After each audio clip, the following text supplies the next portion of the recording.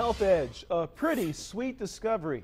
We're talking about maple syrup. Not only is it tasty, great with pancakes and waffles, but apparently it could be, could be a cure for Alzheimer's disease. This is great stuff. Yeah, Dr. Nandi here with a look at what scientists are revealing. You've got a patient, Neil, who's going to love this one. Yeah, Neil, Neil uh, loves Glenda, so thank you for that shout out. I appreciate it. You know, finally some good news, right? So something wonderful people like. Maple syrup may prevent the clumping and misfolding of brain cell proteins, which uh, would build up and cause plaques that can trigger Alzheimer's.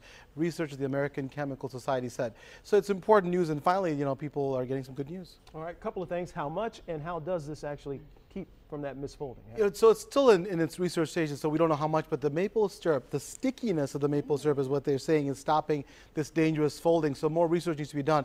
Uh, but prescriptions, my prescriptions for what? Preventing Alzheimer's. Regular exercise, we talk about this. Exercise stimulates the brain's ability to maintain old connections as well as make new ones. Secondly, a healthy diet. The Mediterranean diet can help reduce inflammation and promote energy production in the brain.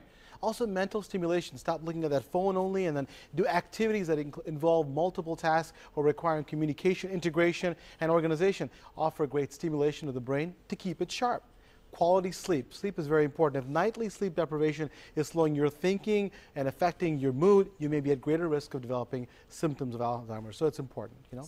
So it's the stickiness. That's fascinating. Oh yeah, people are smart. You mentioned the Mediterranean diet. What other foods can help? So they're talking about other foods such as green tea, red wine, berries, curcumin, and then also pomegranate for their potential benefits to combat Alzheimer's. So natural stuff, which is, which is really nice instead of just taking pills. Fascinating study. Before we go, we do have a viewer question. Uh, viewer wants to know she had a second colonoscopy three years ago. The doctor found pockets. She was told not to eat corn, nuts, or seeds.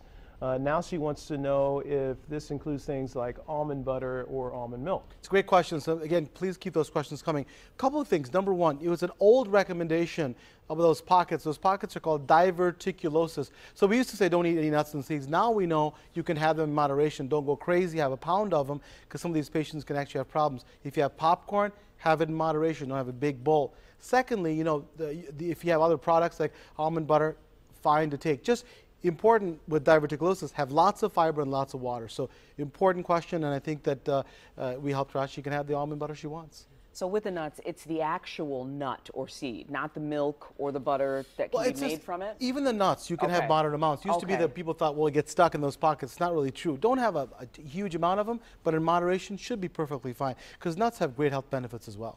That's good to know, yeah. Doc. Yeah. I'm going to have maple syrup. In your morning. Curtis will have maple syrup and with everything. waffles. Thank you so much, Doc. My pleasure. Well, if you have a question or a health concern for the good doctor, you can email him at drnandi at wxyz.com. Send it to us, Facebook, Twitter, email, a phone call. We'll get it to him.